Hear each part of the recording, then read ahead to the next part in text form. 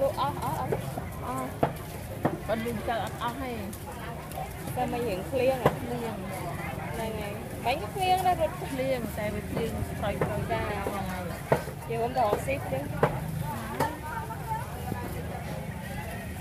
ថតឲ្យទិញមួយយកឲ្យវាញ៉ាំទៅទៅទៅដល់ស្រុកគេនោះខ្ញុំទិញឲ្យញ៉ាំវិកាអូ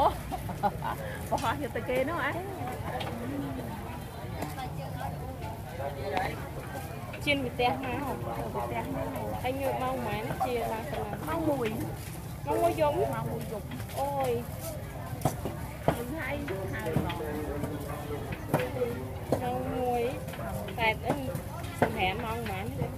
ម៉ោង7អីចូលម៉ែនហ្នឹងហើយម៉ោង7ខ្ញុំតាន់បាយម៉ោង7អីអត់អីទេយើងមិនទៅសិសម្រាប់ដល់តាំ ងម៉ោង7វាអីយកអាចធ្វើ